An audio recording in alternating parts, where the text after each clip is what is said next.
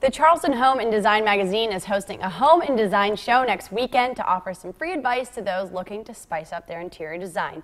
Here with us in studio is Tim Barkley. I understand you're the publisher of the magazine. How are you doing this morning? Doing great. How are you? Good. Nice to have you. Super early. you. Nice start to the month, the Sunday, Monday.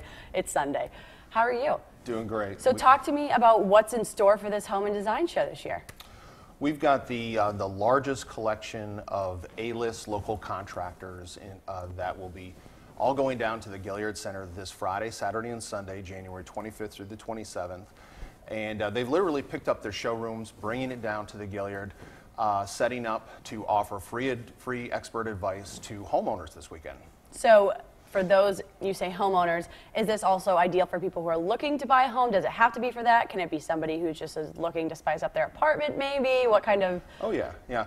Every, this time of year, everybody has a project around the house, and so we. Uh, uh, the best thing they can do is uh, take a couple hours, to come to the Charleston Home and Design Show this weekend, and uh, uh, some people don't know exactly how to jumpstart the project. Where do I start? You come to the Charleston Home and Design Show, you'll get everything that you need uh, from A to Z uh, for, for your home. and is this free to the public?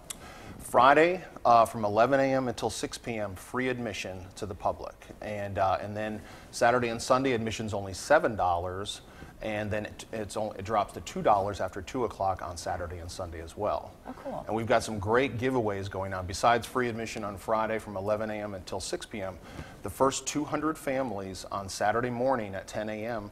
to pay that $7 admission will get a free 12 ounce bottle of Tupelo honey from Savannah Bee Company.